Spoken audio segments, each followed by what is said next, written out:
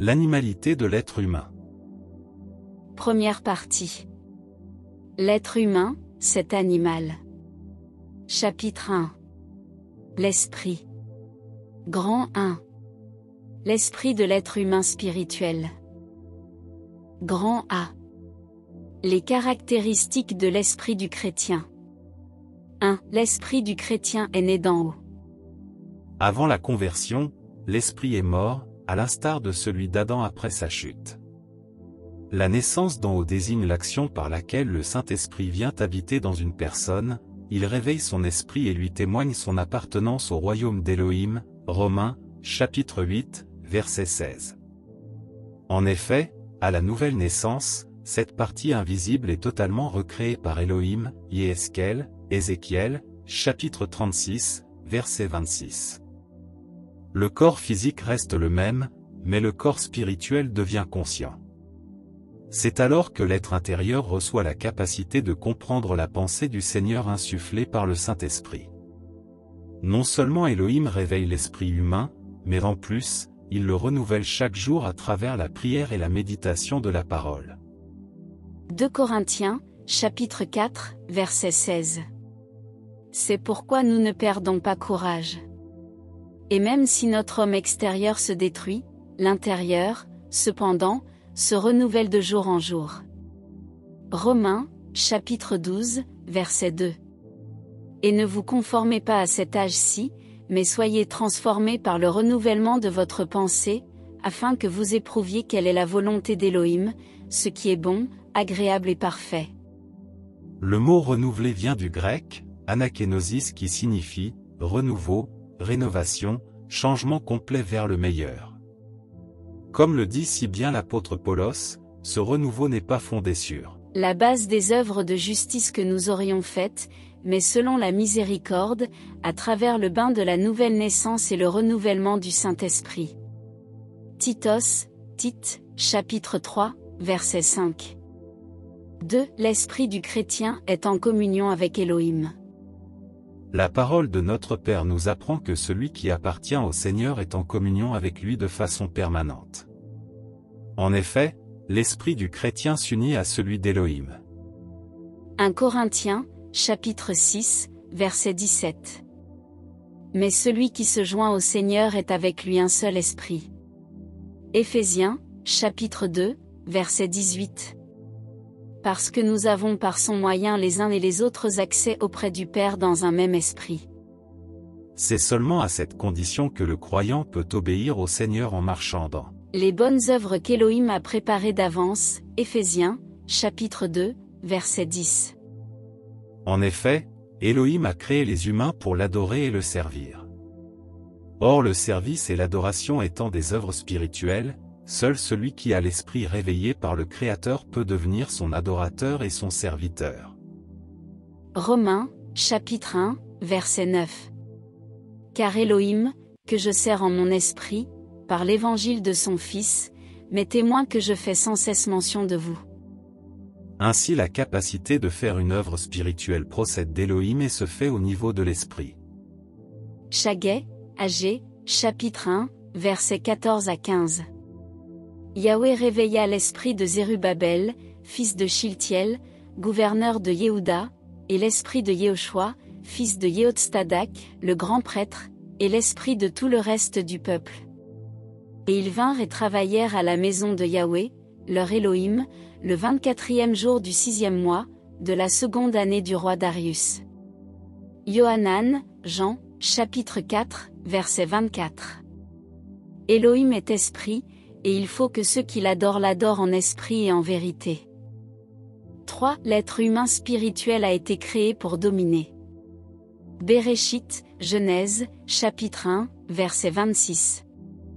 Elohim dit, Faisons l'être humain à notre image, selon notre ressemblance, et qu'il domine sur les poissons de la mer, sur les oiseaux des cieux, sur le bétail, sur toute la terre, et sur tout reptile qui rampe sur la terre nous comprenons à travers ce verset qu'il y a un lien entre la domination et l'image d'Élohim. En effet, c'est seulement parce que l'être humain a été façonné à l'image du Créateur qu'il pouvait dominer sur les animaux. Ainsi, bien que les deux types de créatures, humaines et animales, possédaient des caractéristiques communes, l'image d'Élohim plaçait l'être humain au-dessus de toute la création terrestre et lui conférait sa valeur. Or, en perdant cette ressemblance avec le Seigneur Adam, Kava et leurs descendants ont été dépossédés de leur statut de gouverneur de la terre et sont devenus totalement semblables aux animaux. C'est-à-dire des êtres guidés par leurs passions et leurs appétits charnels. D'ailleurs, l'humain est un animal particulier puisqu'il détruit l'environnement dans lequel il vit. Lors de la nouvelle naissance, la capacité de gouverner est de nouveau conférée aux hommes. C'est donc l'esprit qui a reçu le mandat de dominer sur toute la puissance de l'ennemi, sur l'âme et le corps, c'est-à-dire sur les désirs de la chair, les émotions, et les sentiments. Pour cela, l'esprit doit se soumettre totalement à l'esprit d'Élohim. C'est seulement à cette condition que le chrétien peut marcher selon la volonté du Seigneur. En exécutant les ordres qu'il reçoit de sa part en son être intérieur et en soumettant l'âme et le corps à sa volonté. Galates, chapitre 5, verset 16. Mais je dis, marchez selon l'esprit et vous n'accomplirez jamais le désir de la chair. Hébreux, chapitre 4, verset 12. Car la parole d'Élohim est vivante et efficace, et plus pénétrante qu'aucune épée à deux tranchants, et perçant jusqu'à la division de l'âme et de l'esprit, et des jointures et des moelles. Et elle juge les pensées et les intentions du cœur. Ainsi ce n'est plus la partie animale de l'être humain qui domine le chrétien, mais celle qui est à l'image d'Élohim. Mais cela ne peut se faire que si l'âme et l'esprit ont subi une division. Celle-ci s'opère à la nouvelle naissance, puis des facultés s'acquièrent progressivement par la méditation de la parole du Seigneur et la prière, 1 Pétros, 1 Pierre, chapitre 2, verset 2. 4. L'intelligence. Iov, Job, chapitre 32, verset 8. En vérité, en l'homme il y a l'esprit, le souffle de Shaddai qui le rend intelligent. Marcos, Marc, chapitre 2, verset 8. Et Yehoshua, ayant aussitôt connu par son esprit qu'ils raisonnaient ainsi en eux-mêmes, leur dit, Pourquoi avez-vous de telles pensées dans vos cœurs? Nous saisissons à travers ces passages que l'intelligence est spirituelle. Cela signifie que ce qui rend l'être humain intelligent, le discernement, la connaissance, etc. se trouve au niveau de l'esprit. C'est d'ailleurs seulement à partir de la nouvelle naissance qu'un individu devient capable de comprendre la parole du Seigneur.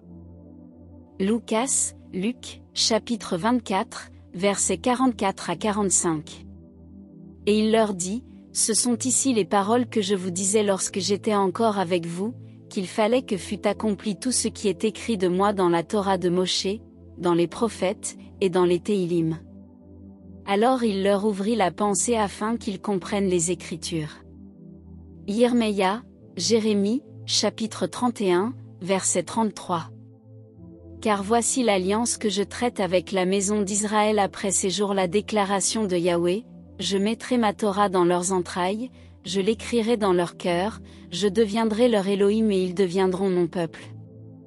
C'est en esprit que nous comprenons qui est l'être humain. Cette connaissance est progressive. Le chrétien spirituel se découvre au fur et à mesure qu'il grandit dans le Seigneur. En effet, le cœur est semblable à un abîme dont le fond ne peut être révélé que par la lumière du Créateur, Yirmeya, Jérémie, chapitre 17, versets 9 à 10. 1 Corinthiens, chapitre 2, versets 11 à 12. Car lequel des humains a connu les choses de l'être humain, excepté l'esprit de l'être humain qui est en lui? De même aussi, personne n'a connu les choses d'Élohim, excepté l'esprit d'Élohim. Or nous, nous n'avons pas reçu l'esprit du monde, mais l'esprit qui vient d'Élohim, afin que nous connaissions les choses qu'Élohim nous a gracieusement données. 5. Les cinq sens spirituels. À la nouvelle naissance, l'esprit est doté des cinq sens spirituels qui lui permettent de connaître la volonté du Seigneur, de discerner, et d'aider son prochain. Petit 1. La vue. Éphésiens, chapitre 1, versets 17 à 18. Afin que l'Élohim de notre Seigneur Yehoshua Machia, le Père de gloire, vous donne l'esprit de sagesse et de révélation dans sa connaissance précise et correcte. Qu'il illumine les yeux de votre intelligence, afin que vous sachiez quelle est l'espérance de sa vocation, et quelle est la richesse de la gloire de son héritage dans les saints. Avec les yeux spirituels, une personne peut avoir des visions, des songes, des révélations, ou encore le discernement. C'est pourquoi celui qui a l'intelligence du Seigneur doit veiller sur ses yeux. Matthaios, Matthieu, chapitre 6, versets 22 à 23. L'œil est la lampe du corps. Si donc ton œil est simple, tout ton corps sera lumineux. Mais si ton œil est méchant, tout ton corps sera dans l'obscurité. Si donc la lumière qui est en toi n'est que ténèbres, qu'elle est grande, la ténèbre. Ainsi le chrétien spirituel ne peut poser ses yeux sur ce qui est impur. Le sens physique est remplacé par la foi, l'esprit est dans l'assurance vis-à-vis des choses que la chair ne voit pas. 2 Corinthiens, chapitre 5, verset 7. Car nous marchons par la foi, non par la vue. Hébreux, chapitre 11, verset 1 à 3. Or la foi est la substance de choses qu'on espère, une conviction de celles qu'on ne voit pas. Car c'est par elle que les anciens ont obtenu le témoignage. Par la foi, nous comprenons que les âges ont été mis en ordre par la parole d'Élohim, de sorte que les choses qui se voient proviennent de celles qui ne sont pas exposées à la vue. Yohanan, Jean, chapitre 20, verset 29. Yehoshua lui dit, Parce que tu m'as vu, Thomas, tu as cru. Bénis sont ceux qui n'ont pas vu et qui ont cru. Romains, chapitre 8, versets 24 à 25. Car c'est en espérance que nous sommes sauvés. Or, l'espérance qu'on voit n'est plus espérance, car ce que l'on voit, pourquoi l'espérer encore? Mais si nous espérons ce que nous ne voyons pas, nous l'attendons assidûment et patiemment, avec persévérance. Petit 2. Louis. Apocalypse 6, Apocalypse, chapitre 2, verset 7. Que celui qui a une oreille entende ce que l'Esprit dit aux assemblées. À celui qui remporte la victoire, je donnerai à manger de l'arbre de vie, qui est au milieu du paradis d'Élohim. Il est évident que pour entendre ce que l'Esprit dit aux assemblées, il faut avoir l'oreille spirituelle. Théilim, Psaume, chapitre 40, verset 7.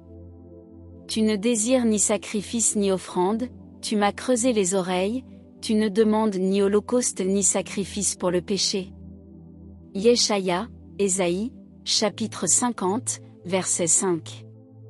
Adonai Yahweh m'a ouvert l'oreille et je n'ai pas été rebelle, et je ne me suis pas retiré en arrière. La foi elle-même est issue de la capacité à entendre la parole d'Élohim. Les oreilles sont donc les portes de la foi, car la foi vient de ce qu'on entend, l'on entend au moyen de la parole d'Élohim. Romains, chapitre 10, verset 17. D'ailleurs, dans la parabole du semeur et des quatre terrains, le Seigneur nous apprend que sur quatre types de personnes qui entendent la parole, trois ne la comprennent pas. Seul celui qui l'entend et la comprend est capable de porter du fruit. Ainsi les fruits dépendent du bon fonctionnement de l'oreille spirituelle. Matthaios, Matthieu, chapitre 13, verset 23. Mais celui qui a reçu la semence dans la bonne terre, c'est celui qui entend la parole et la comprend. Et il produit en effet du fruit, l'un cent, l'autre soixante, l'autre trente. Un chrétien spirituel c'est aussi celui qui écoute avant de statuer ou de répondre. Michelet, Proverbe, chapitre 18, verset 13. Celui qui répond à un discours avant de l'avoir entendu, fait un acte de folie et attire la confusion. Dans la gestion des conflits entre deux parties, celui qui a la maîtrise de soi écoutera chacune d'elles avant de porter un jugement. Michelet, Proverbe, chapitre 18, verset 17. Celui qui plaide sa cause en premier paraît juste, mais sa partie adverse vient, et on l'examine. Les oreilles sont donc des canaux primordiaux qui permettent de prononcer un jugement, de discerner, d'entendre le Seigneur et d'éprouver le sens moral de son entourage. En effet, il est dit que Les mauvaises compagnies corrompent les bonnes mœurs, 1 Corinthiens, chapitre 15, verset 33. Or pour connaître une personne, il suffit de l'écouter parler, car C'est de l'abondance du cœur que sa bouche parle, Lucas, Luc, chapitre 6, verset 45. ainsi le chrétien véritable est. Prompt à écouter et lent à parler, Jacob, Jacques, chapitre 1, verset 19. Par conséquent, l'oreille spirituelle permet aussi de choisir les membres de notre entourage. Lorsque le disciple d'Élohim parle, c'est pour exprimer les dons de l'esprit et consoler. Yeshaya, Ésaïe, chapitre 50, verset 4. Adonai Yahweh m'a donné la langue de disciple pour que je sache soutenir par la parole celui qui est fatigué. Matin après matin, il réveille, il réveille mon oreille pour que j'écoute comme un disciple.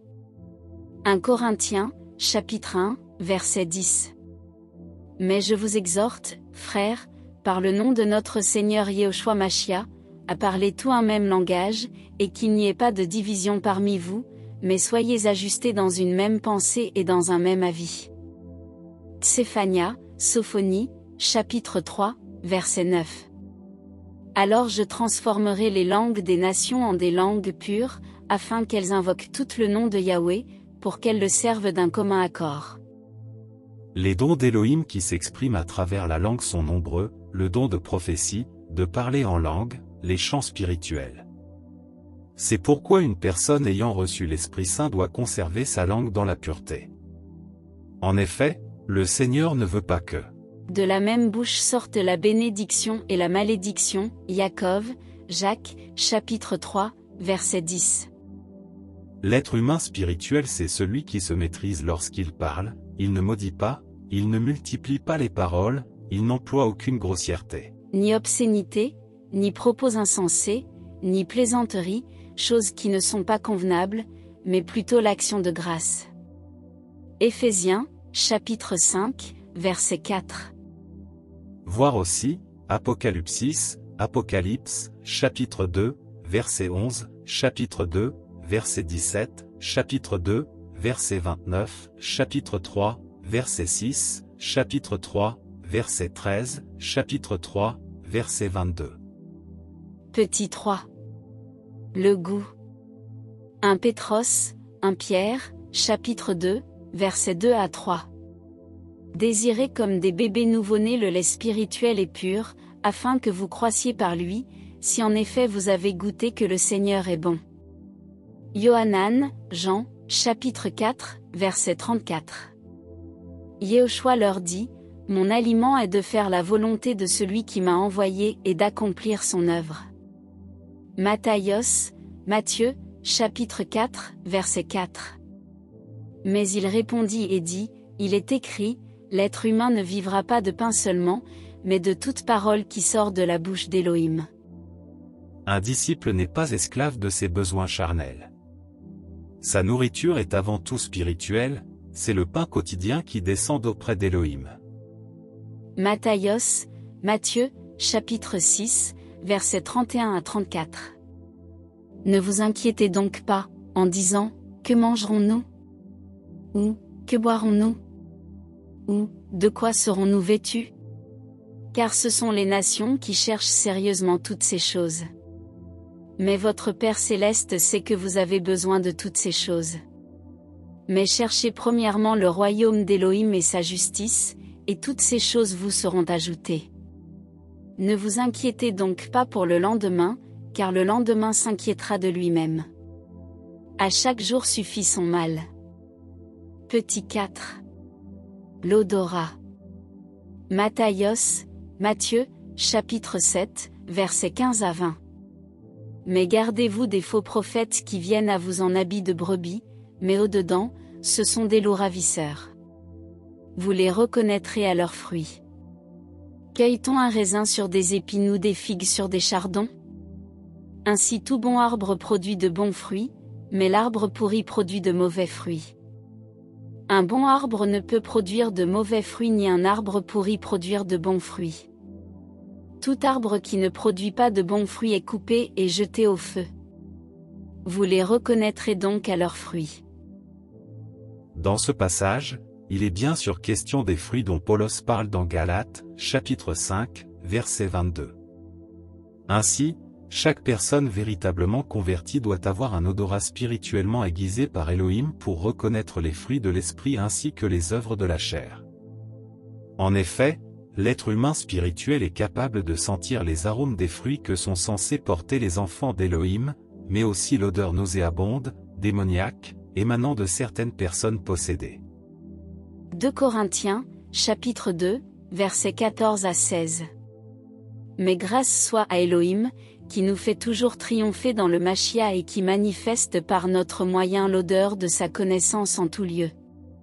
Parce que nous sommes la bonne odeur du Machia pour Elohim, parmi ceux qui sont sauvés et parmi ceux qui périssent.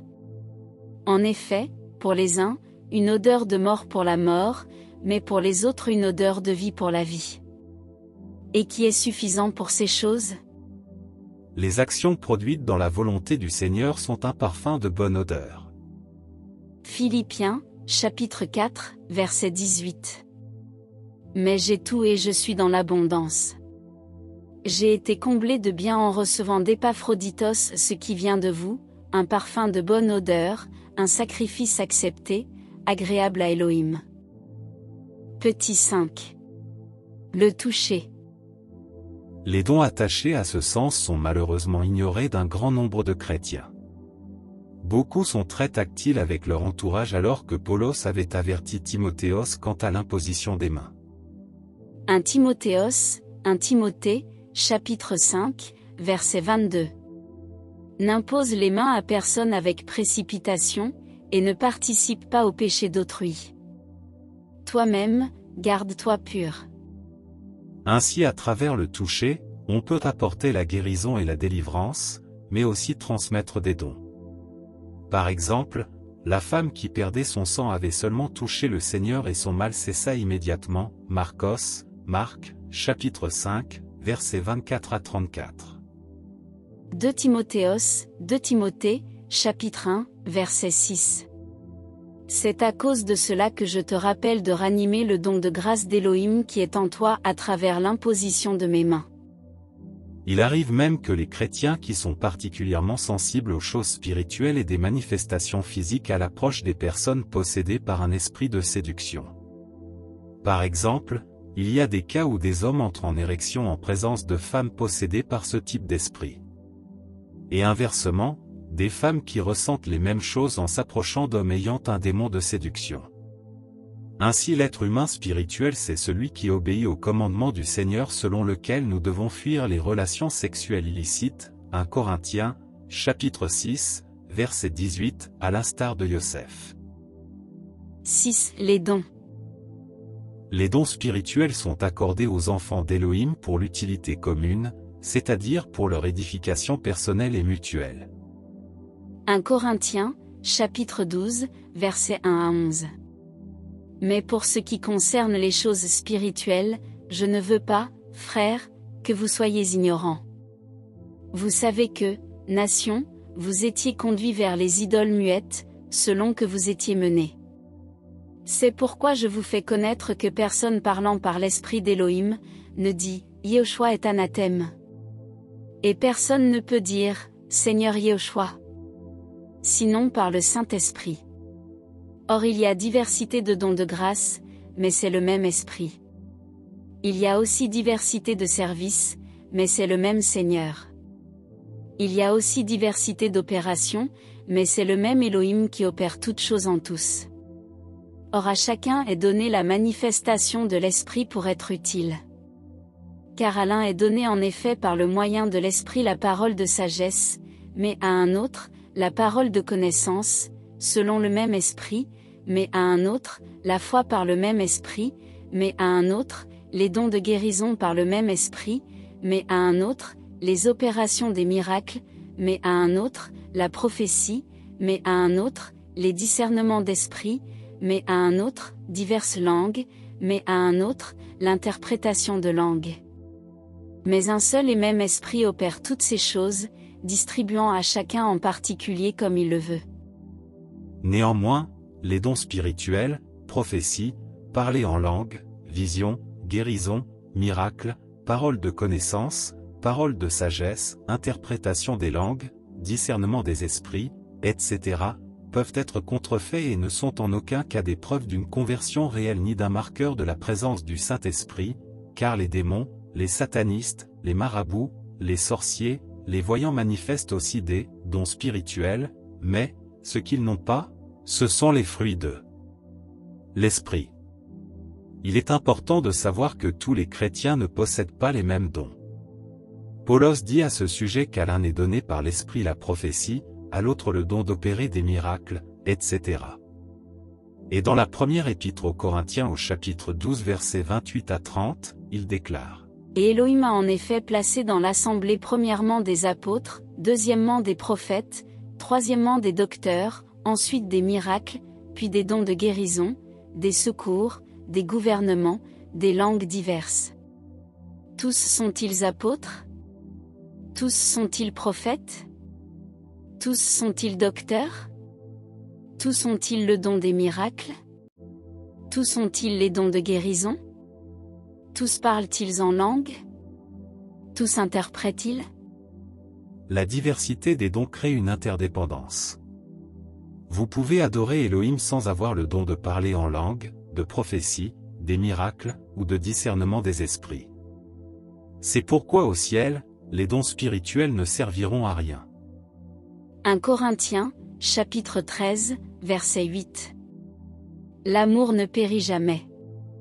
Mais quant aux prophéties, elles seront abolies. Et quant aux langues, elles cesseront. Quant à la connaissance, elle sera abolie. Grand B. Les privilèges du chrétien né d'en haut. 1 Corinthiens, chapitre 2, versets 15 à 16. Mais celui qui est spirituel juge en effet de toutes choses discerne toutes choses et n'est jugé lui-même par personne. Car qui a connu la pensée du Seigneur pour pouvoir l'instruire? Mais nous, nous avons la pensée de Machia. Le mot spirituel vient du grec pneumatikos qui désigne ce qui est relatif à l'esprit humain ou âme rationnelle, une part de l'être humain qui est allié à Elohim et lui sert d'instrument ou d'organe. Ainsi ceux qui sont spirituels sont simplement ceux qui obéissent à Yehoshua. Cette soumission entraîne un certain nombre de conséquences. 1. L'être humain spirituel est un enfant d'Elohim. Romains, chapitre 8, versets 14 à 16. Car tous ceux qui sont conduits par l'esprit d'Élohim sont fils d'Élohim. Car vous n'avez pas reçu un esprit d'esclavage pour être encore dans la crainte, mais vous avez reçu l'esprit d'adoption par lequel nous crions, Abba. Père. L'esprit lui-même rend témoignage à notre esprit, que nous sommes enfants d'Élohim. Selon ce passage, ce qui caractérise l'appartenance à la famille d'Élohim, c'est de se laisser conduire par l'Esprit du Seigneur. De là, découle une relation privilégiée avec le Créateur. Il bénéficie alors des conseils, Yeshaya, Ésaïe, chapitre 28, verset 29, de la correction, Hébreu, chapitre 12, verset 6, et de la protection du Père, Téhilim, Psaume, chapitre 37, verset 39, mais aussi de l'intimité de ce dernier, qui lui fait confiance. Matthios, Matthieu, chapitre 12, verset 50. Car, quiconque aura fait la volonté de mon Père qui est dans les cieux, celui-là est mon frère, et ma sœur, et ma mère. Yohanan, Jean, chapitre 16, verset 13. Mais quand il viendra, lui, l'Esprit de la vérité, il vous guidera dans toute la vérité, car il ne parlera pas de lui-même, mais il parlera de tout ce qu'il aura entendu et il vous annoncera les choses à venir. L'être humain conduit par Elohim marche forcément à contre-courant, à l'opposé du train de ce monde, Éphésiens, chapitre 4, verset 17. En avance sur son temps, il est souvent seul, incompris et rejeté. Il n'a pas le même comportement que ceux du monde, car il marche soigneusement, Éphésiens, chapitre 5, versets 15 à 16, dans l'amour, Éphésiens, chapitre 5, versets 1 à 2, comme un enfant de lumière, Éphésiens, chapitre 5, versets 8 à 14, d'une manière digne de l'appel qu'il a reçu, Éphésiens, chapitre 4, verset 1, dans les œuvres qu'Élohim a préparées d'avance pour lui. Car nous sommes son ouvrage, ayant été créés en Yehoshua Machia pour les bonnes œuvres qu'Élohim a préparées d'avance, afin que nous marchions en elles. Éphésiens, chapitre 2, verset 10. Le chrétien spirituel connaît la pensée du Machia et ne se laisse pas influencer par le système du monde, philosophie, religion, ni par sa propre chair. Il est au contraire dirigé par l'esprit d'Élohim qui est le conducteur par excellence. C'est donc de la marche de ce type d'être humain qu'il est question dans Théilim, Psaume, chapitre 1. 2. L'être humain spirituel est comme le vent. Yohanan, Jean, chapitre 3, verset 8. Le vent souffle où il veut et tu en entends le bruit, mais tu ne sais pas d'où il vient, ni où il va. Ainsi en est-il de quiconque a été engendré de l'esprit. Le mouvement du vent a la particularité d'être dispersif, c'est-à-dire qu'il s'enfuit de différents côtés de manière irrégulière, à tel point qu'on n'arrive pas à le cerner, tel est le mouvement de l'esprit. Théilim, Psaume, chapitre 104, verset 4. Il fait des vents ses messagers, et des flammes de feu ses serviteurs. Une personne spirituelle ne peut se retrouver dans une organisation charnelle, telle que les fédérations, ou les organisations pastorales, car il est comme le vent, ce qui signifie qu'il est insaisissable. Il peut même être considéré comme instable par ceux qui sont charnels. 3. L'être humain spirituel a une vision céleste. L'être humain spirituel se focalise sur ce qui est en haut et non sur les choses terrestres qui sont passagères et éphémères. En effet, il est avant tout un citoyen du ciel. 1 Pétros, 1 Pierre chapitre 2, verset 11. Bien-aimés, je vous exhorte, comme étrangers et voyageurs, à vous abstenir des désirs charnels qui font la guerre à l'âme. Colossiens, chapitre 3, versets 1 à 4. Si donc vous êtes ressuscités avec le Machia, cherchez les choses d'en haut, où le Machia est assis à la droite d'Élohim. Pensez aux choses d'en haut, et non à celles qui sont sur la terre. Car vous êtes morts, et votre vie est cachée avec le Machia en Elohim. Quand Machia, notre vie, apparaîtra, alors vous apparaîtrez aussi avec lui dans la gloire. Par conséquent, l'être humain spirituel aime méditer la parole, Théilim, Psaume, chapitre 119, prier, 1 Thessaloniciens, chapitre 5, verset 17, la compagnie des gens intègres, 1 Corinthiens, chapitre 15, verset 33, et bien sûr il est passionné du Seigneur Yehoshua Machia. De plus, le chrétien spirituel fuit le péché et tout ce qui peut l'éloigner d'Élohim. C'est une personne constamment persécutée, rejetée, incomprise même de ses proches.